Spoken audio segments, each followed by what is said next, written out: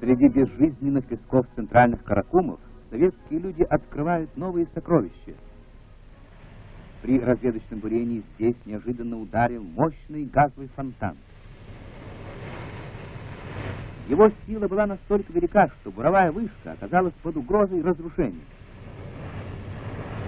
И тогда комсомольцы решили спасти вышку. Сделать это вызвали бурильщик Леонид Витязь и Ян Кузнецов, горный инженер.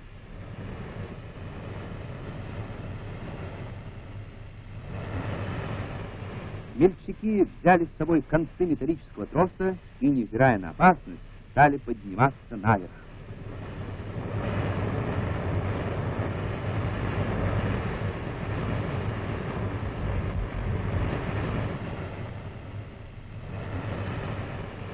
Отважные комсомольцы прикрепили там четыре троса, которые теперь надежно удержат вышку, пока не будет укращен газовый фонтан.